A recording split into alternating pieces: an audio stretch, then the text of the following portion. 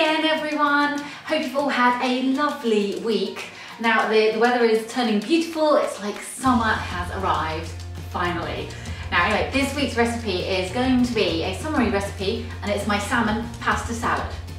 We're gonna start with making the dressing and for that I've got some sour cream, got lemon, I've got salt, pepper, olive oil and some herbs. Yes, I've got some dill and some chives. Mmm, it smells good.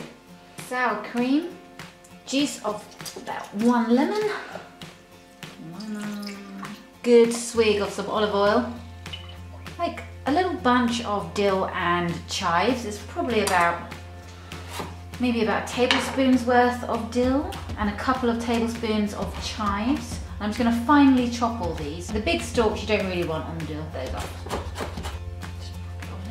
Chives. Again, get them as fine as you can. Whack those in. Mix that all together. Also add some pepper. Good pinch of some sea salt. So get your pasta ready and if it's cold, that's fine. You can have this salad cold or warm, totally up to you. Anyway, I'm gonna put my, my uh, I'm gonna transfer my pasta into a bowl. There we go. Lovely. Now this is a big batch and remember I will put a link to the recipe and all the quantities up on my blog and it will be, the link will be in the description box. Ooh, I can't even talk today. Pour your dressing over the pasta and give it a good mix together.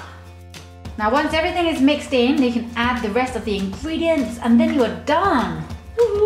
I'm gonna add some chunks of cucumber. So I'm just a bit, Add your cucumber in. Just gonna mix everything together. Uh, I like to add a bit of rocket to this, so rocket going straight in. A couple of handfuls. Oh, and you know what else would go nice? I've just suddenly had a thought. Gherkin.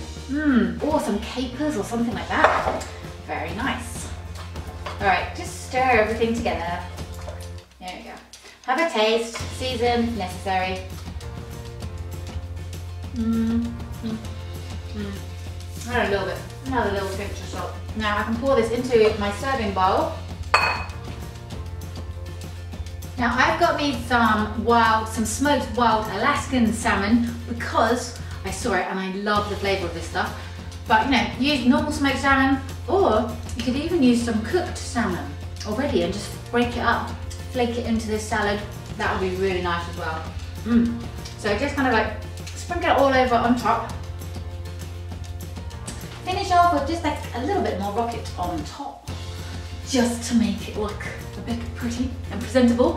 Um, I hope you all really, really enjoyed this recipe. It was very easy, right? Yes, and it will make a perfect dish uh, for a barbecue or dinner, lunch, whatever you fancy. Packed lunches even. It's very versatile. And um, leave me your comments. Love hearing from you guys. And if you haven't subscribed, please subscribe because my recipes will get sent straight to your inbox by magic every single week, so you're not going to miss one. And that's it. That's all I got. I'll see you next Wednesday. Bye. I didn't want time. Bye.